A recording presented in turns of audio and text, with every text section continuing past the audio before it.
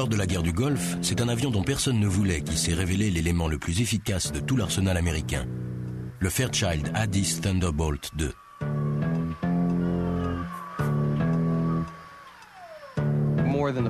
Plus que l'aura médiatique, c'est le système d'armes qui a fait ses preuves. C'était une confirmation de ce que savaient ceux qui connaissaient la machine, mais personne d'autre n'était convaincu, surtout pas les huiles de l'Air Force. C'était très satisfaisant de monter au créneau et de taper sur l'ennemi.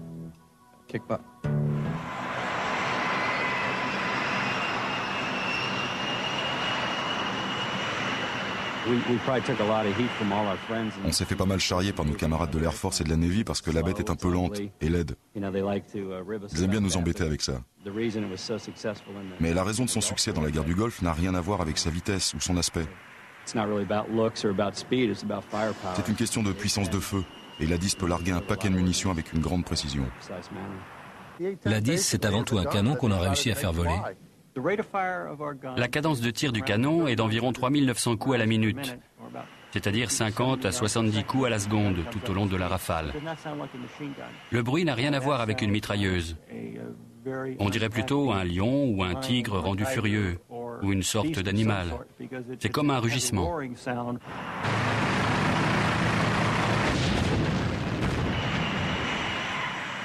Lorsqu'il a fallu trouver un nom à cet avion effrayant, on a tout de suite trouvé celui qui convenait.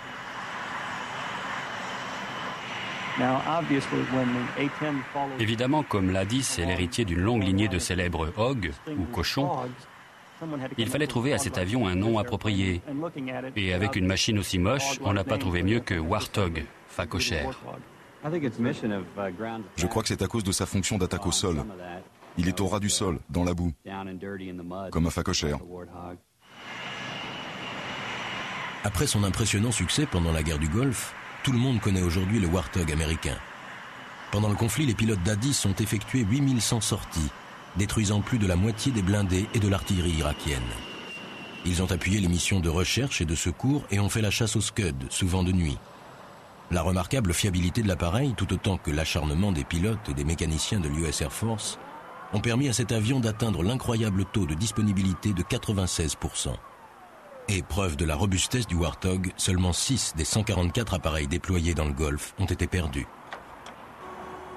La 10 est l'un des avions les plus étonnants de toute l'histoire de l'aviation. Extrêmement agile, il peut emporter une charge militaire de 8 tonnes d'armement, mais c'est son énorme canon Avenger de 30 mm qui le place dans une catégorie à part. L'Avenger peut tirer 70 coups à la seconde. C'est le plus gros canon jamais monté sur un avion de combat. Il peut détruire des chars, des trains, des navires, bref, tout ce qu'il rencontre en chemin.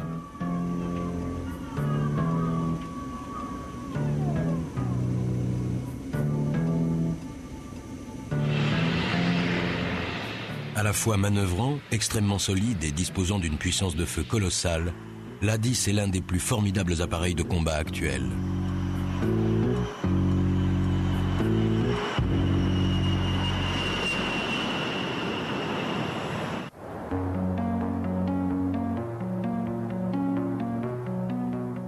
Illustrant une situation de plus en plus courante dans les forces armées américaines, le personnel permanent de l'Air Force est assisté de volontaires de l'Air National Guard pour maintenir les avions en état opérationnel constant.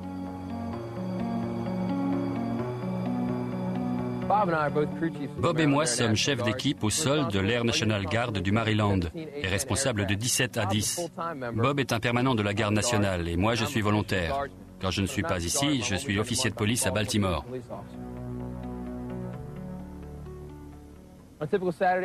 Le samedi, on arrive habituellement à 6h30 du matin et on repart à 6h du soir. En général, on vole par groupe d'une dizaine d'avions. Ici, dans le hangar, nous avons actuellement quatre appareils. L'un d'eux sert à entraîner les équipes à charger l'armement. Il y en a un dont on répare les commandes de vol et les deux autres sont en grande révision. Cet avion est en grande révision. Celle-ci a lieu après 400 heures de vol. Il est là pour une visite complète. Ils vont entièrement démonter l'avion. Ils vont inspecter les compartiments avant, vérifier le canon, réviser les moteurs, inspecter les ailes et les trains d'atterrissage. Il faut tout inspecter de près et ne rien oublier. Pour cette grande visite de la 10, on scrute le blindage, on a descendu le canon et on inspecte la soute. Et maintenant, ils sont sur le point de le réinstaller.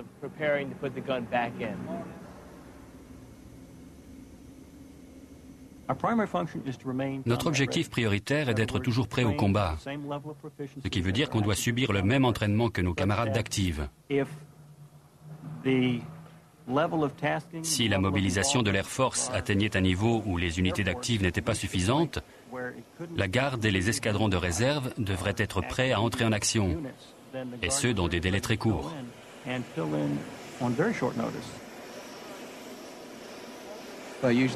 Normalement, lors d'un week-end d'entraînement, un UTA, qu'on dit, on établit un scénario pour la journée, une mini-guerre simulée d'une journée. On se concerte avec les services de renseignement et on exécute un plan de guerre d'un jour. Le nombre d'unités opérationnelles de l'US Air Force a récemment diminué et la 175e escadre de l'Air National Guard du Maryland doit maintenant participer à toute mission entreprise par l'Air Force.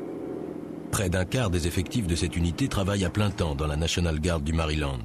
Les autres, les volontaires traditionnels, abandonnent leur famille ou leur employeur un week-end par mois et doivent aussi servir pendant au moins 15 jours consécutifs par an.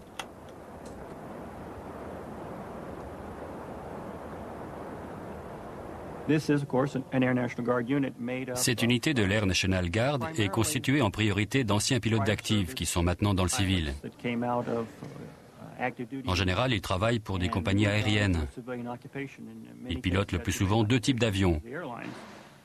Ils ont leur activité civile dans une compagnie aérienne et viennent ici le week-end ou même souvent pendant la semaine pour faire un petit vol à bord de cet avion.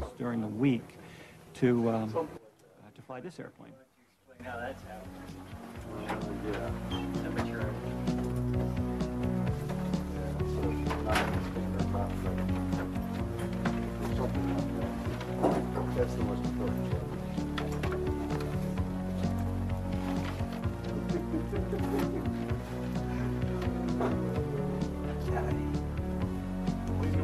No, see you around.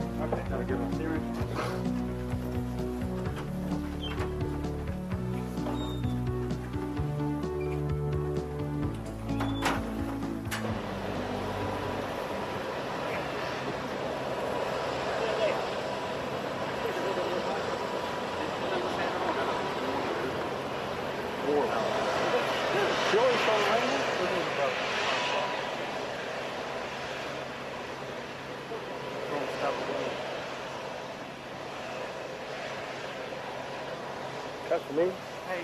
Au sein de ce petit groupe d'élite constitué par les pilotes de Hogg, le lieutenant-colonel Ron Henry est un cas à part.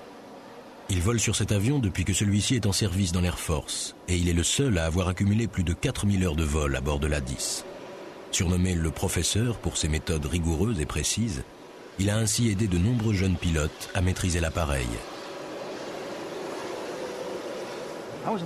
J'étais volontaire pour ce travail dès 1977. L'avion était alors tout nouveau et quand un appareil entre en service opérationnel, il intrigue toujours. En 1977, la 10 est arrivée à la base aérienne de Myrtle Beach, en Caroline du Sud. Cette base, cette nouvelle machine faisait de ce poste l'un des plus attirants de toute l'US Air Force à la fin des années 70. Tout le monde était volontaire pour travailler sur cet avion. Il n'y avait rien de mieux. J'ai vu l'appareil évoluer en 20 ans. J'ai commencé à le piloter en 1977 et il a pas mal changé depuis. C'était un avion très simple, très rustique au début. Il était conçu pour ça, avec des impératifs de coût très réduits.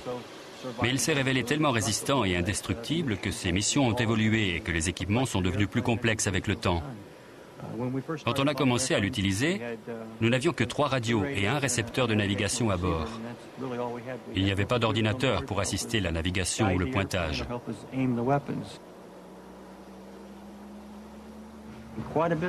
On a donc beaucoup investi depuis l'entrée en service de l'avion dans la flotte pour l'améliorer. Aujourd'hui, nous avons un puissant système informatique d'attaque au sol qui nous aide à guider les munitions. Il nous sert non seulement pour la visée du canon, mais aussi pour le pointage des bombes larguées. ce qui nous a permis de gagner la compétition de tir biannuelle de l'US Air Force en 1991.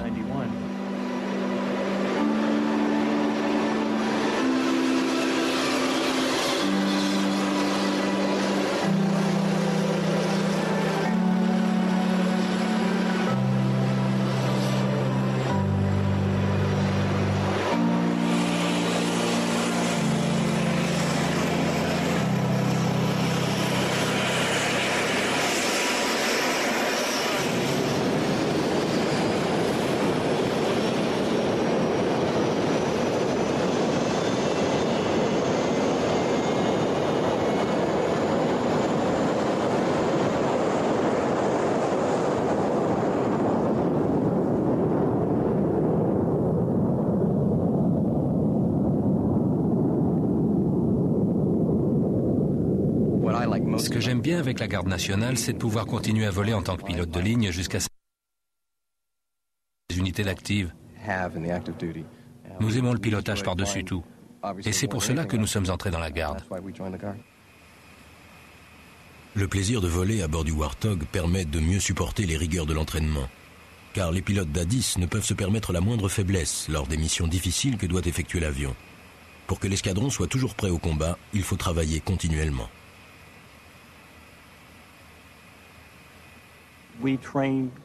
Nous nous entraînons en permanence, pas seulement les week-ends. Nous volons quatre ou cinq fois par semaine.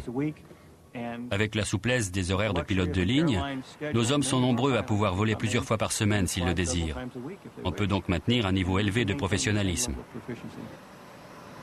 Ces deux dernières années, bon nombre de ces gardes nationaux du Maryland ont dû abandonner par deux fois famille et occupation professionnelle pour assister les forces de l'OTAN en Bosnie.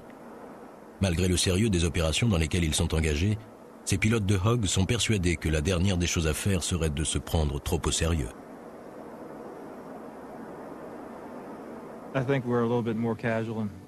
Je crois qu'on est un peu plus relax et que nos égos sont moins hypertrophiés. C'est un monoplace, alors on vole tout seul. On n'a pas à expliquer à quelqu'un d'autre ce qu'on fait. On vole toujours à deux ou quatre avions et on s'entraîne régulièrement à basse altitude, vers 150 mètres. On descend parfois encore plus bas dans certaines zones. Et quand on vole à 500 km/h, c'est très amusant.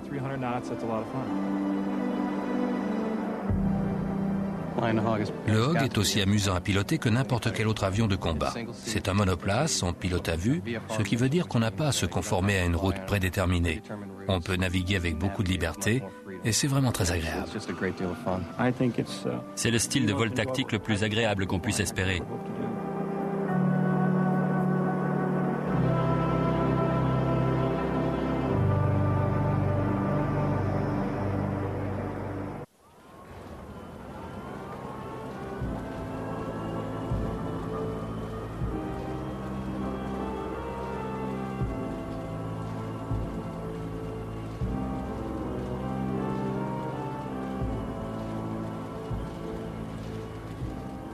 C'est en janvier 1973 que la Fairchild Republic Corporation présente l'A-10 Thunderbolt 2, l'avion qui manque alors le plus aussi bien à l'armée de terre qu'aux forces aériennes. Il n'est pas très esthétique, mais c'est exactement ce dont les militaires ont besoin. Le conflit vietnamien a cruellement montré qu'un nouveau type d'avion était nécessaire pour les missions d'appui au sol rapproché, un rôle pour lequel l'A-10 a précisément été conçu. Cette tâche est l'une des plus difficiles qu'on puisse demander à l'aviation – le Warthog doit marauder au-dessus du champ de bataille et assurer l'appui des troupes au sol tout en détruisant les chars, les véhicules et l'artillerie ennemie. Le tout à très basse altitude et sous le feu de l'adversaire.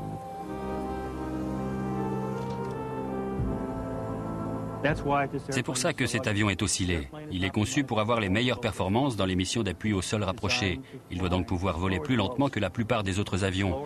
Plus lentement parce qu'il faut impérativement voir et discerner les bons des méchants si on veut larguer les munitions le plus près possible de nos troupes.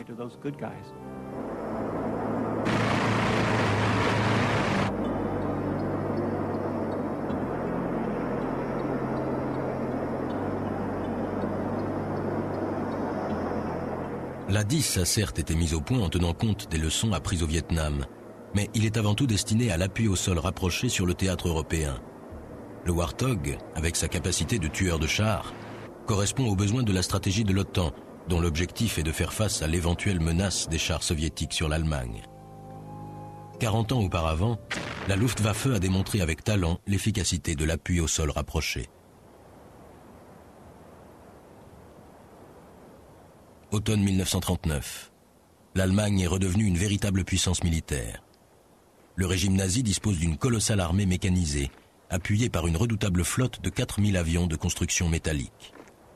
Avec leur force aérienne, la Luftwaffe, les militaires du Reich ouvrent une nouvelle ère terrifiante de la tactique militaire. La théorie concrétisée par la constitution de la nouvelle aviation allemande est celle de l'appui au sol rapproché, une méthode appliquée avec une précision effrayante lors de l'invasion de la Pologne. Selon une procédure qu'elle va répéter sur tous les champs de bataille d'Europe, la Luftwaffe attaque à l'avant des armées mécanisées du Reich pour frapper les troupes, les blindés, l'artillerie et l'aviation adverse. En moins de dix mois, l'Europe est sous la botte nazie.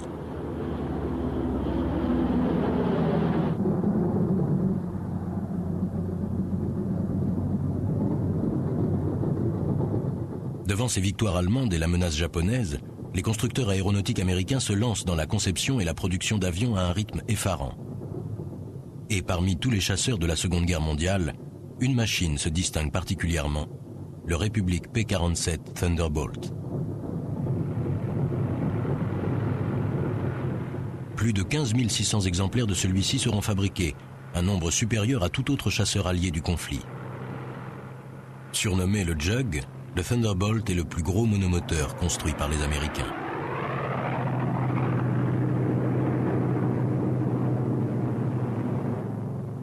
Il pèse 8 tonnes, une masse énorme pour l'époque.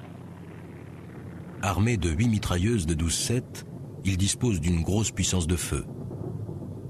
Propulsé par son hélice de 3,60 m de diamètre qu'entraîne un moteur de 2300 chevaux, c'est le plus rapide des chasseurs américains. Il atteint les 700 km h Son autonomie dépasse les 1600 km avec une vitesse de croisière de 580 km h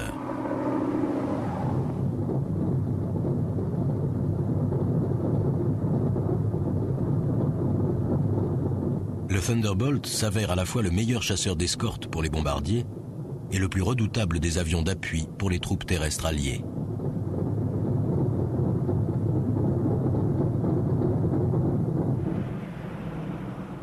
Avec d'autres appareils comme le P-51 Mustang, le P-47 assure l'appui aérien indispensable au débarquement de Normandie, repoussant les troupes allemandes et détruisant l'artillerie qui défend les côtes françaises. La coordination des mouvements de troupes terrestres avec les opérations aériennes est essentielle à la réussite du débarquement.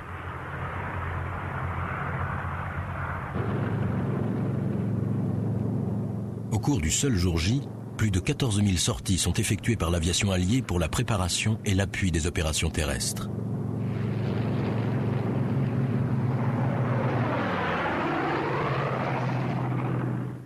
Les Alliés ont vite compris l'importance de l'appui au sol rapproché. Et le légendaire P-47 participe largement à la victoire en Europe et dans le Pacifique.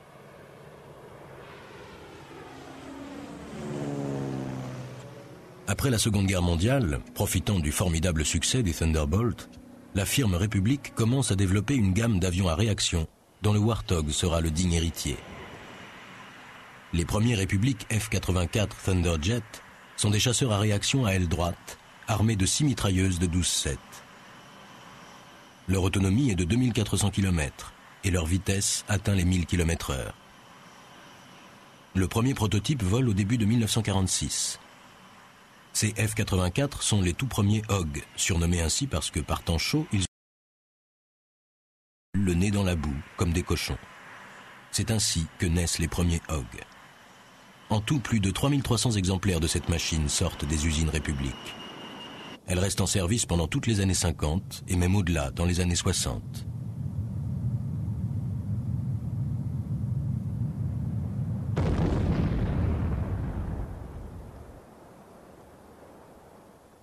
La firme République améliore sans cesse le Hog et sort en 1952 une version à aile en flèche, le F-84 Thunderstruck. Fidèle à la tradition, les pilotes le surnomment le Super Hog. Capable de voler à 1115 km/h sur 2640 km, il entre en service dans l'US Air Force. Il peut emmener des roquettes et des bombes et République en fabriquera plus de 2700.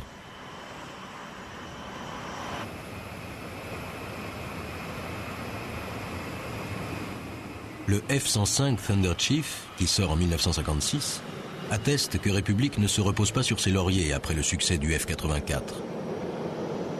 Et il ne faut pas longtemps avant que le nouvel appareil ne prenne lui aussi un surnom de Hog.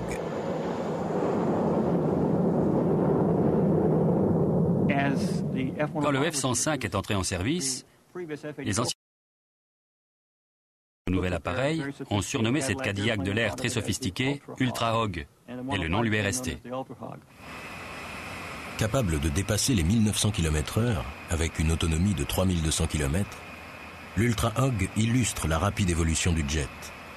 D'une machine imparfaite, on est passé en quelques années à des engins profilés, puissants, de grande autonomie et dotés d'un armement important.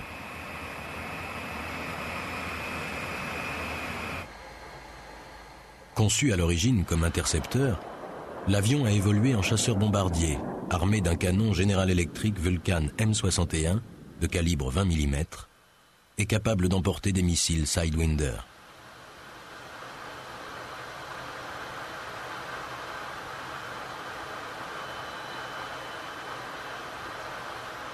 L'Ultra Hog peut aussi emporter des têtes nucléaires. Près de 900 exemplaires seront construits. Le dernier Hog de cette grande lignée d'avions militaires construits par République hérite directement des leçons apprises au Vietnam. Une guerre menée contre un peuple déterminé, dans un environnement hostile aux machines, pousse l'homme et le matériel à ses limites. Sur les champs de bataille, dans une jungle dense et humide, l'appui des troupes est un sujet d'angoisse pour les militaires américains. Les hélicoptères démontrent rapidement leurs limites dans ce rôle.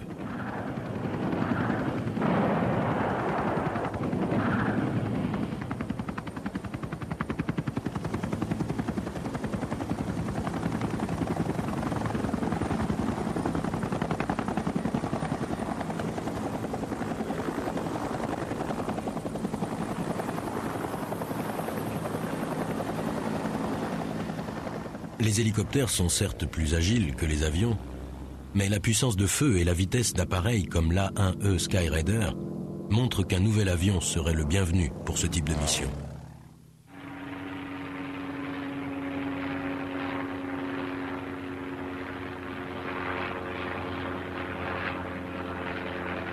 L'A1E Skyraider a démontré tout l'intérêt d'un avion agile à très basse altitude, descendant près des méchants, un avion d'où on peut clairement voir ce qu'on attaque et faire distinctement la différence entre ennemis et amis.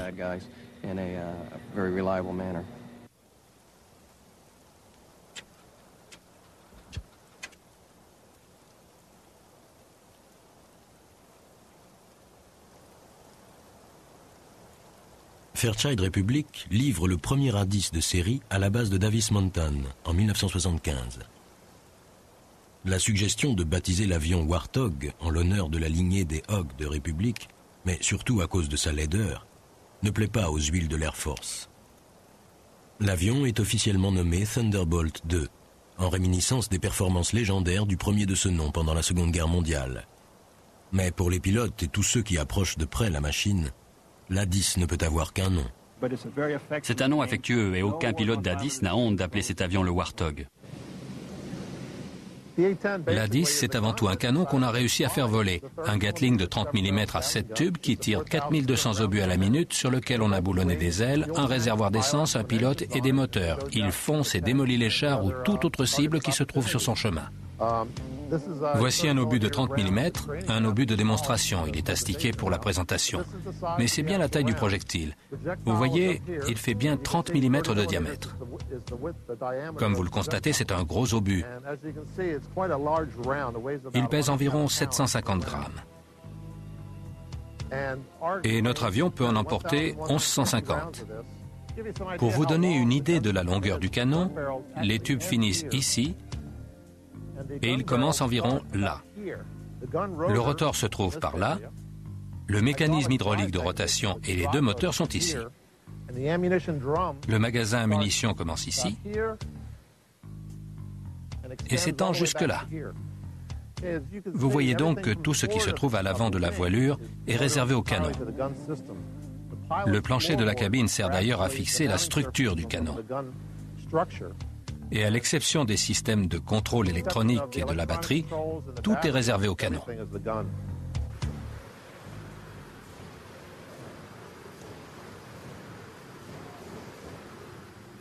Lorsque l'US Air Force a défini le cahier des charges de l'avion, elle voulait un appareil capable de détruire les chars. Dès le début de la conception, Fairchild Republic a donc décidé que le canon Gatling de 30 mm serait l'arme de choix. Mais les 6 mètres de long du canon General Electric Avenger GAU-8A ne rendaient pas les choses faciles. La seule solution était de concevoir l'avion autour de l'armement. L'Avenger de 30 mm comporte 7 tubes rotatifs, délivrant une capacité de destruction effrayante. Il tire des obus de 30 cm de long pesant près d'un kilo. L'ensemble de la pièce, avec ses munitions, pèse 2 tonnes.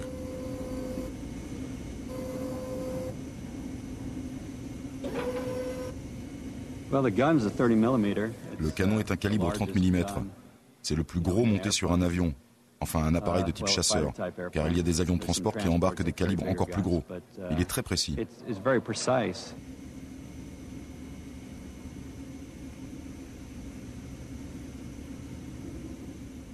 Une précision qui permet aux pilotes d'atteindre des cibles situées à plus de 3 km. Avec une vitesse initiale de plus de 1000 mètres secondes, le canon peut tirer une moyenne de 70 coups à la seconde. Un seul obus suffit pour détruire un char.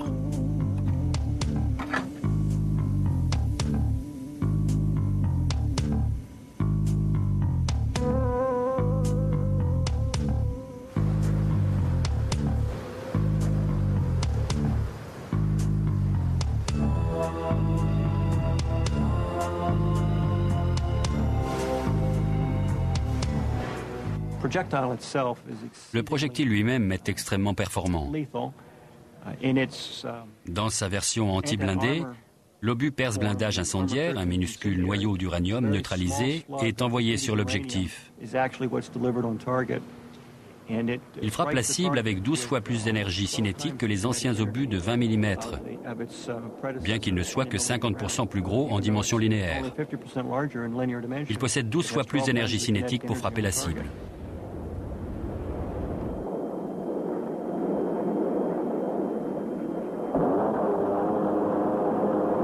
Colossale force de recul du canon a imposé de le placer légèrement de côté dans le fuselage, pour que le tube actif soit exactement dans l'axe de l'avion, ce qui évite le problème de force de recul asymétrique. Il produit autant de force de recul que les moteurs fournissent de poussée. Théoriquement, si on disposait d'assez de munitions et qu'on appuyait assez longtemps sur la détente, on pourrait arrêter l'avion complètement parce que le recul du canon annulerait la poussée des réacteurs.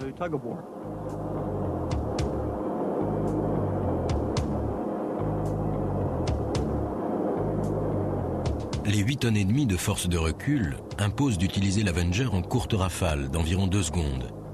Une contrainte qui permet d'éviter le gâchis de munitions et la surchauffe des tubes. Pourtant, malgré sa puissance phénoménale, le canon n'est pas la seule menace que le Warthog fait peser sur les forces ennemies.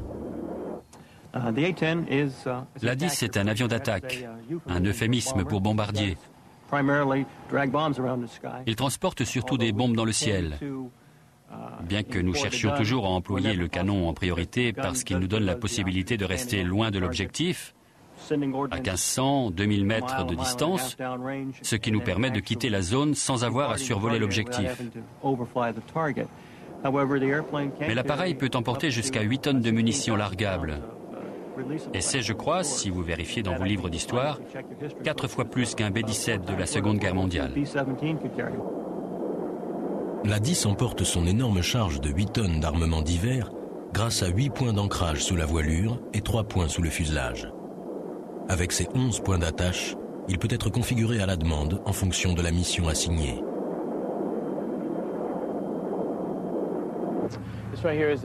Ici, c'est une nacelle ECM 184 de brouillage électronique. Ça, c'est une marque 82 et ça, une bombe à fragmentation.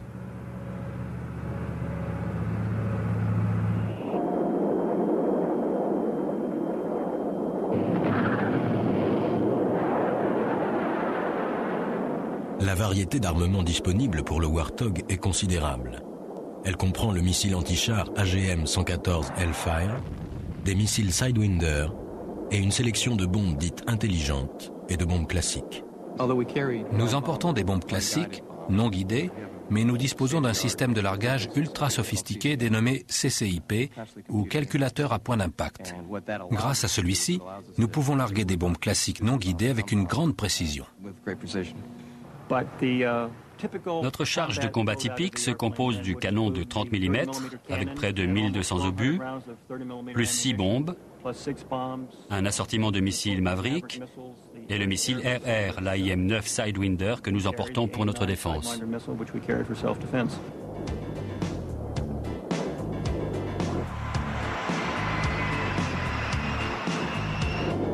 Armé jusqu'aux dents, le Warthog arbore une telle puissance de feu qu'il est dangereux à défier, d'autant qu'aucun de ses rivaux n'est aussi résistant.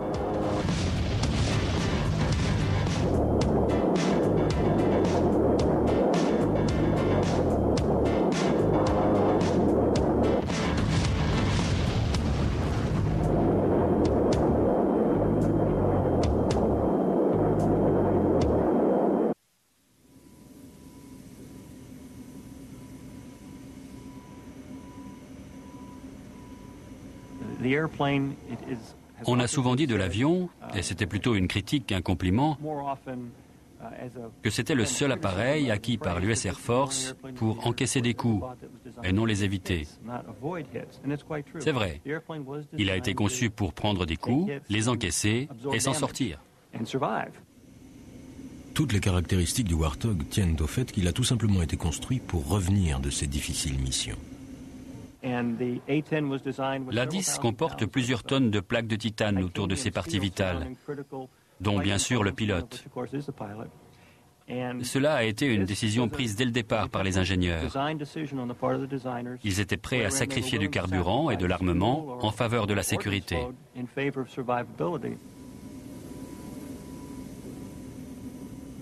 Renforcé par quelques 1500 kg de blindage en titane, le Warthog peut résister à des coups directs d'obus de perforation explosifs de 23 mm.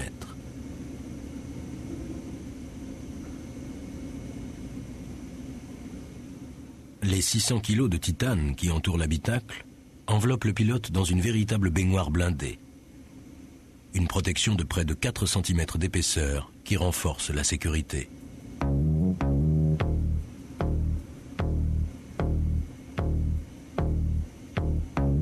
Mais ce qui donne à l'avion son allure étonnante est l'emplacement de ses moteurs. La 10 se devait de disposer de deux moteurs pour des raisons de sécurité. Mais la consommation des turboréacteurs était trop élevée et les turbopropulseurs trop vulnérables. Heureusement, dès le début du développement de l'avion, les ingénieurs ont découvert que General Electric mettait au point un réacteur à fort taux de dilution pour un nouvel avion anti-sous-marin de l'US Navy. Ce type de moteur, appelé aussi turbofan, servait déjà sur des appareils civils, mais n'était pas encore reconnu dans le domaine militaire. Ils offrent plusieurs avantages qui les ont fait adopter dans la configuration de la 10. Ils consomment moins, sont moins bruyants que les réacteurs classiques, et leur signature infrarouge est plus faible.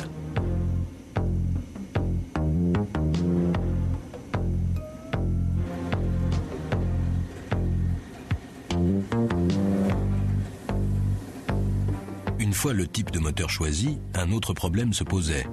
Où fallait-il les placer?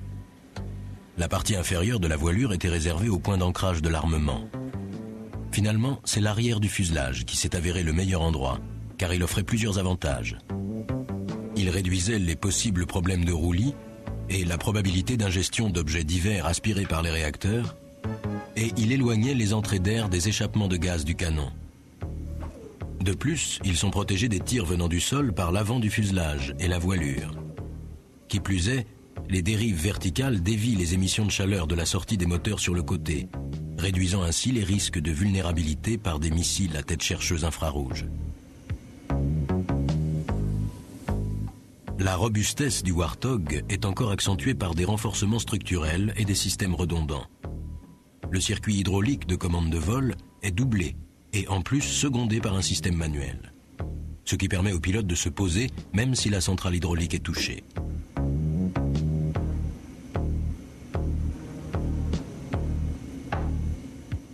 La disponibilité étonnante de la 10 pendant la guerre du Golfe est la conséquence directe d'une configuration spécifique permettant à l'avion d'être entretenu et réparé sur des bases peu aménagées, proches du champ de bataille.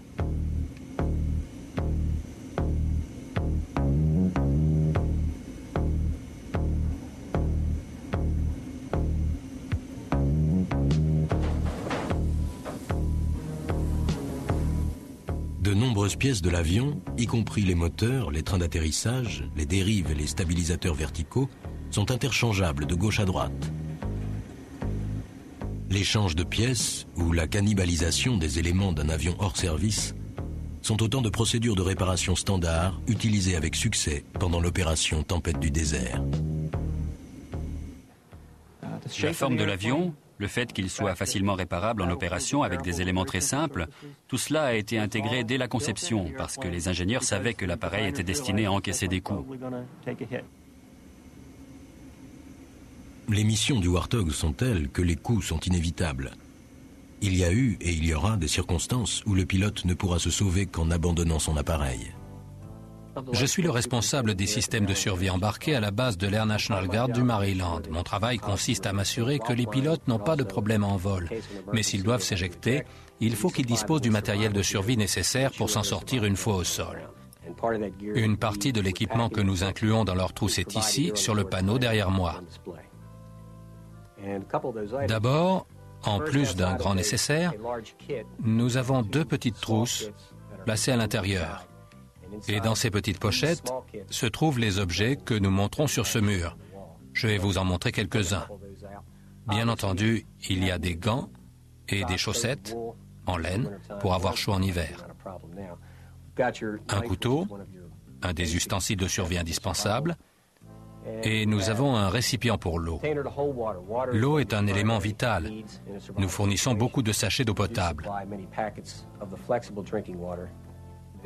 Il y a de la nourriture, mais ce n'est pas aussi important que l'eau. Nous avons aussi un des éléments les plus importants, les fusées éclairantes, et également des fusées à main pour diriger les avions de secours vers vous. Dès qu'un pilote s'est éjecté et touche le sol, cette radio de survie est essentielle pour parler aux autres avions encore en l'air et leur faire connaître la situation. Elle sert aussi à diriger les secours vers le point de chute. Les missions d'A-10 étant surtout de l'appui au sol rapproché, les équipages sont largement à la merci des tirs et des missiles ennemis. Les pilotes d'A-10 sont plus souvent en danger que leurs collègues qui volent plus vite à des altitudes beaucoup plus élevées. Il est donc important que ces ustensiles soient toujours disponibles. C'est quelque chose qui fait partie de notre formation. On consacre beaucoup de temps à entraîner le pilote à quelque chose qui ne lui arrivera peut-être jamais, mais si ça devait lui arriver, il doit savoir que le matériel est là, qu'il fonctionnera et qu'il pourra lui sauver la vie.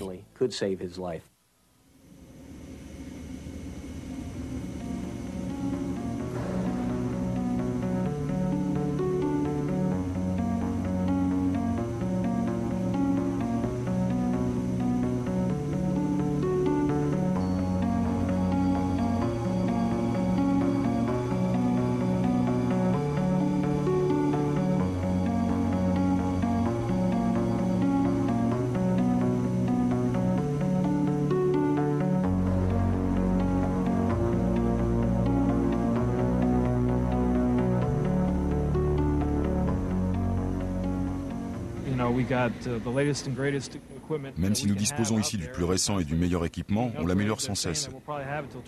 On nous dit qu'on aura toujours l'avion en 2025, donc encore pendant un bon bout de temps. La plupart des nôtres sont des modèles 78-79. C'est donc une longue carrière pour un avion. Mais il est constamment modifié et a d'énormes capacités.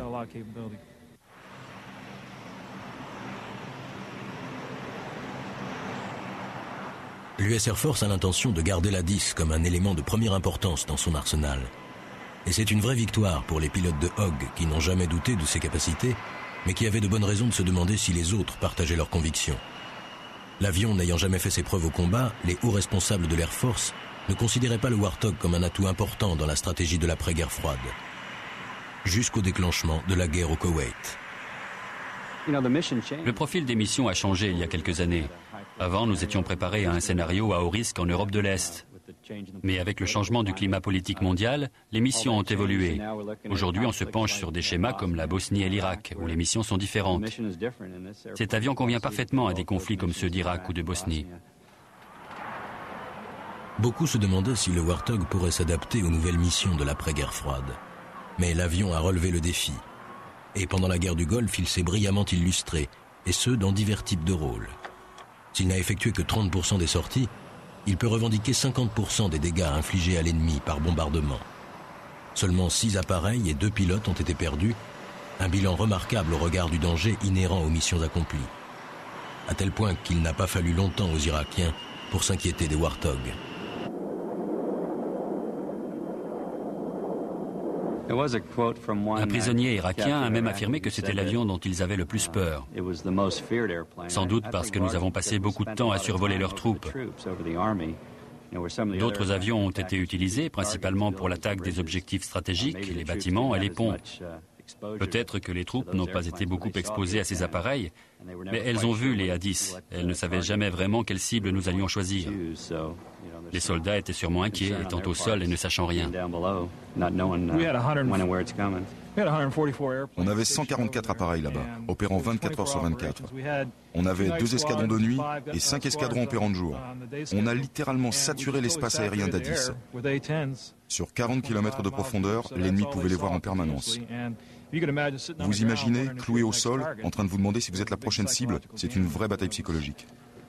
Et quand vous entendez ce canon, je ne sais pas si vous l'avez jamais entendu, mais c'est un véritable rugissement. En plus, avec l'écho, on peut l'entendre de très loin. Entendre ça toute la journée, ça doit être très effrayant.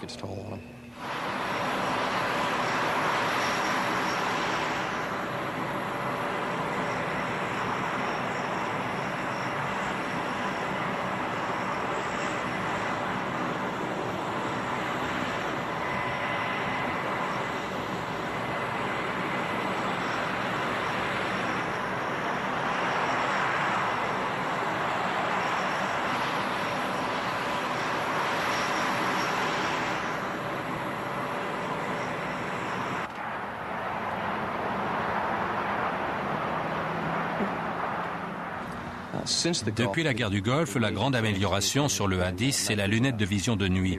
Tous les tableaux de bord et les consoles ont été modifiés pour les rendre compatibles à la vision de nuit.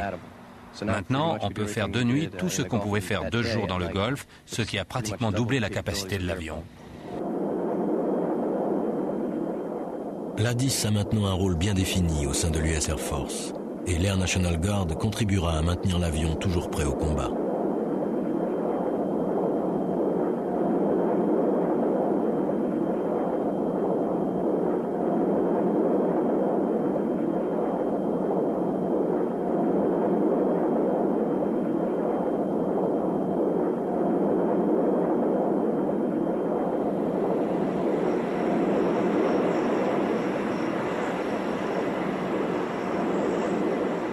Des comme le 175e Fighter Group doivent rester en mesure de déployer le Warthog là où le besoin s'en fait sentir et pouvoir servir aussi efficacement que les unités d'active.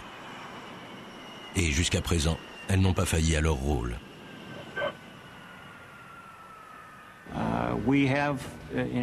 Ces derniers mois, nous avons effectué les mêmes tâches que les unités d'active équivalentes. Nous avons été envoyés en Europe pour participer aux opérations en Bosnie. Dans le Golfe Persique, nos escadrons ont fonctionné admirablement. Il n'y avait pratiquement aucune différence entre nos performances et celles des unités d'active. between their performance and the performance of, of the active duty units there.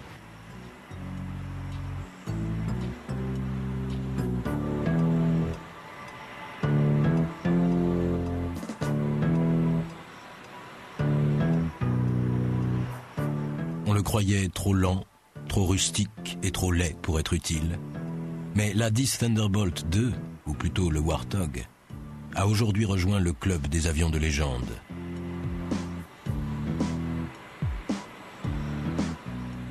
Son agilité exceptionnelle, sa redoutable puissance de feu et sa robustesse mythique ne sont que la preuve d'une conception réussie. La fierté et l'affection des pilotes de Hogg pour leur machine n'a pas d'équivalent. Ces soldats savaient que ce n'était qu'une question de temps et qu'un jour on se rendrait compte des qualités de cet extraordinaire avion au nom inoubliable, le Warthog, le facochère.